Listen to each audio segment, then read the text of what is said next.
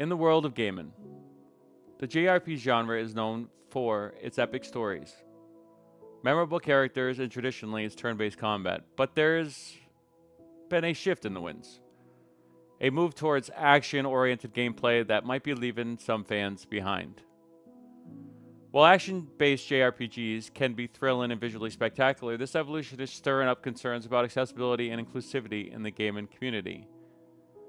Firstly, action based games often require fast reflexes and precise timing, potentially alienating players with disabilities or those who prefer a more strategic, thoughtful pace.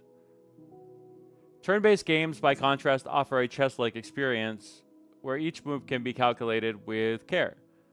This not only levels the playing field for players of all abilities, but also upholds a tradition that has defined the genre for decades.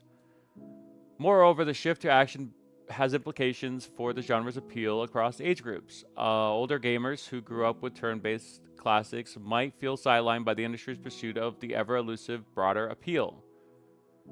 This isn't just speculative. There's a vocal portion of the gaming community expressing their discontent online feeling that the games they fell in love with are being transformed beyond recognition.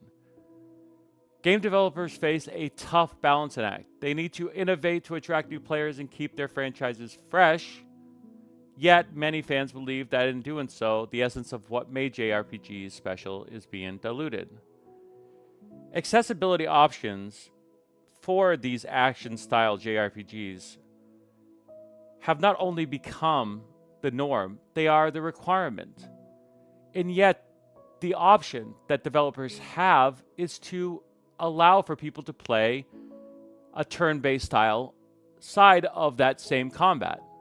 That would alleviate the, the issue to appeal to the more tactical, strategic elements of the fan base. In conclusion, while the industry's push towards action based gameplay in JRPGs might attract new audiences, it risks excluding a dedicated and passionate part of its fan base. The challenge for the developers moving forward will be to find ways to honor the genre's roots while still embracing innovation. My name is Plazookas, and I am an old school JRPG fan. And the new action style JRPGs have definitely alienated me the need for auto battles in these action style games, the need for any kind of materials or items that essentially do the job for you have taken the strategic elements away. And what remains is a diluted, less immersive product. Something that I miss greatly. And I want to tell the Japanese community that Americans still like turn based they still want turn based games, in that you might attract a million or more people to your game if you go action, but ultimately,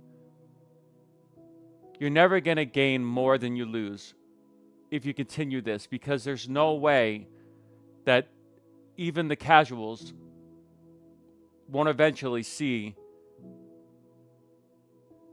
what we what we saw when I was a kid, and that appeal, that uh, mystery, that allure, that level of importance, or facing a battle that you just couldn't beat because it required you to have, uh, you know, a different element, um, or or use an item to weaken it.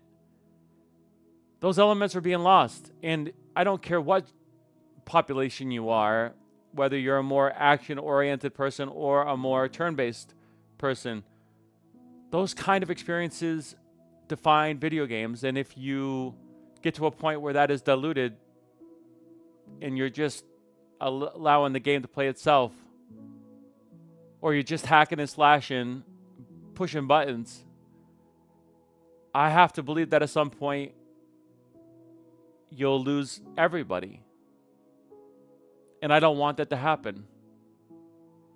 My name is Plazookas. If you like this content, like, subscribe. I'll see you in my next video. Bye for now.